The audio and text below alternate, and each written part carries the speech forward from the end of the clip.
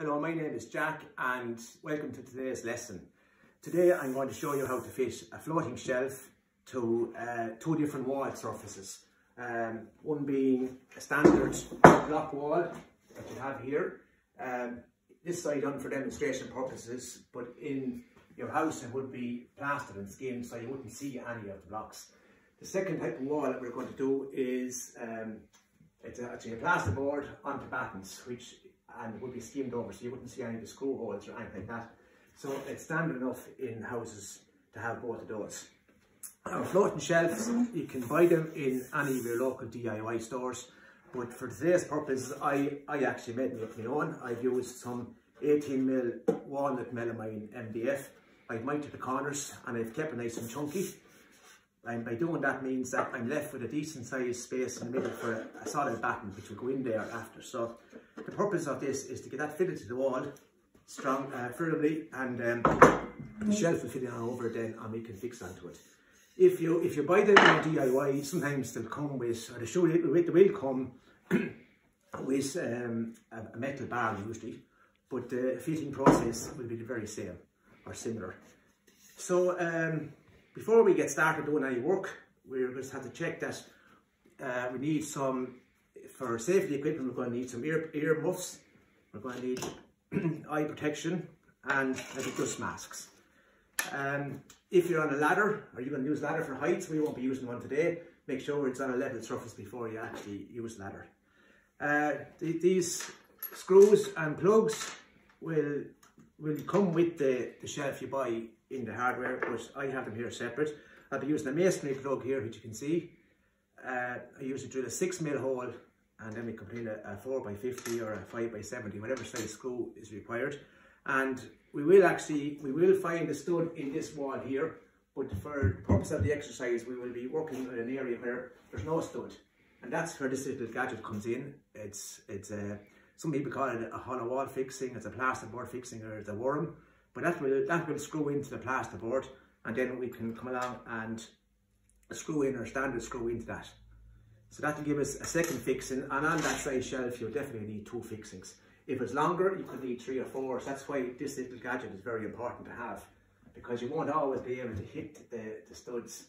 Uh, in this case, we can see your studs, but um, in, in a house, I just have a piece of skirting on here and you can try them. They're normally 400 centres, but um, you won't be able to see them.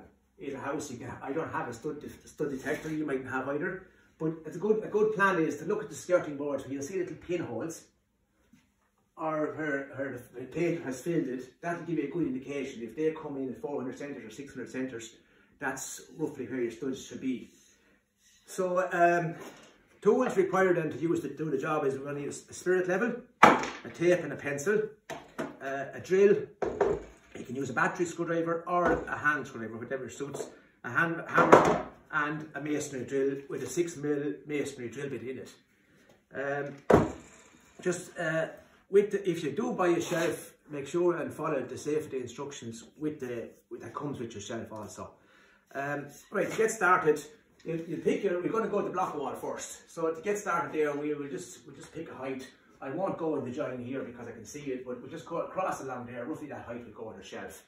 So the idea is we're going to level that on the wall. We're going to drill through here. Um, I have it pre-drilled here with this drill, so we'll be drilling through the mason with the masonry drill. We'll put in our wall plug and then we will we'll offer a screw through this into the wall plug and repeat that on this side here. Okay, so I just put on a mask here and uh, you, need sorry you need your eye protection and your earmuffs. Okay, so we'll pick this spot here. Sorry, just talking up. I pick my spot here, so I'm just going to drill it there now. Okay.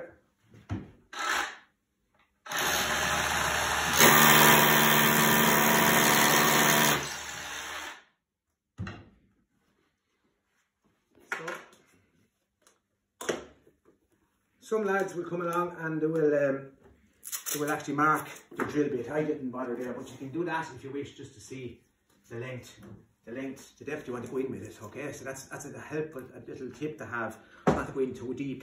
because if we in too deep, the screw won't work the either. So we get out the wall plug. I'm just going to tap it into the hole there. I'm going to start off trying the, the 4x50s. I'll use the hand one then just to get it started. Just drill a pre-drilled hole. And just line it up there. Small tap. And you can turn that there like that. So that's getting a grip at the moment. So I'll just speed up. I'll just finish it off with the, battery drill. Okay. Now that's that's sitting fairly firm at the moment. So now I'm just going to stick a level on that there. I have a pencil. So you can stick the level underneath it or on top. It's just handy on the top there. And just a little line underneath there. And for um, for this stage, I'll just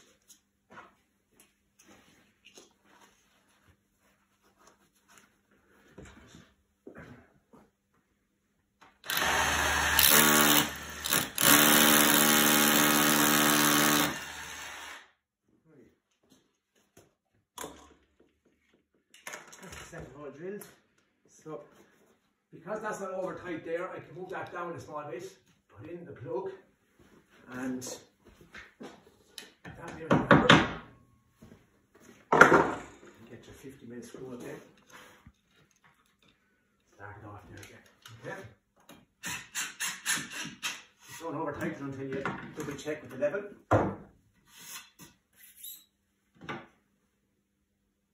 that just needs a off your, your screw. Tighten it up. Oh, that's good and firm there on the wall. So the next stage now is just take your shelf. You can see there where this is 18 mil. I've pre-drilled two holes underneath here. If it was a, a, higher shelf, I would have put the holes to the top. But in this case, I'm just going to let them go in the bottom because they're least, the least obvious. So them in there. I'm just going to use uh, a 4x30 mil screw here, two of those. And I'm going to screw them up underneath. That should be the job then. And the second one, you go.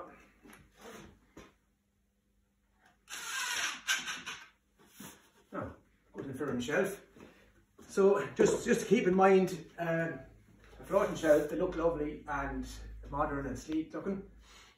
Uh, they're not as strong as a shelf that would have brackets underneath it. But if you be careful, don't overload them, they will always look very good. So now, there's one done. Okay. So now, so we, we just, we'll go back and do the similar process with a, a, a slab wall with studs in it. And I said early on to you, there's, you can find your studs from here, you can use a stud finder, or you can usually come from a corner of a wall or something, and it should be 400 centres. But that's not going to bother us today because we're going to just pick a spot on the wall and we're only going to find one stud and the second stud then, the second fixing will be going into a hollow, hollow, hollow section here, like I said with this little gadget here. So I'm just going to pre-drill this hole. And let's drill the second hole here. And that's just at random altogether. So uh, I, I, have my stud marked here so I can see where it is. So I'm going to actually just um, do it I may drill a different hole for a second because they're actually lined up somewhere. We'll drill a second hole there. So here I'm going to use my 4x50s here again and I'm going to drill straight in to the stud rope which is, I just put it here, this wall here, okay? I have my line there ready. No, so it's already up there once. So it's not level or anything. Is actually sitting lovely and level there. So what I'm going to do now is I'm going to drill through the second hole here. I know there's a stud here, but I know there's no stud there. So I'm going to drill straight through there. And uh, that will actually mark a centre point for me to put this piece in, this little fitting. So that'll go up there. Lovely and level. Now you can see what I've just done there. I have the, the, the slab marked for the for the plasterboard fixing. So this is actually geared to take a standard screwdriver tip. You can see it by hand, it'll still go in the very same. And it's actually not a bad idea to put it, put it in by hand. As you can see the way it cuts in there lovely. and you won't over tighten it with, with the hand screwdriver. So it's a great idea to use to, to use um, the hand screwdriver there. So just, just get it back onto here then, yeah, put it back up, put it level onto it. Again, it's nice and level, so that should be in the same position then as we already had set up. And here can feel the door behind it. There you go now, that's lovely level and it's as strong this end as it is that end there because I didn't over tighten the, the plasterboard fixing and that means it's getting getting full value from the strength of it. Right, so I've also pre-drilled this one here and similar height, so stick that up there. I get my there's four by thirties. I'm just going to underpin those with that just to hold the shelf in position. And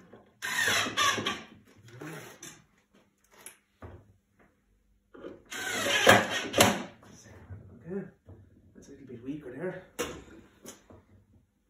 Yeah. A screw down from the top if you want as well. So we'll do that just to make it stronger. Try one for now.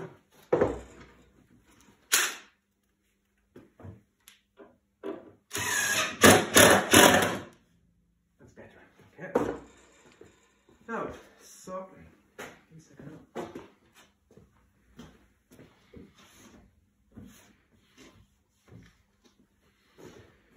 So now you can see that today I demonstrated how to fix the floating shelves onto two different wall surfaces and um, I hope you find this demonstration useful around your home and uh, hope you found it very helpful and thank you very much for watching.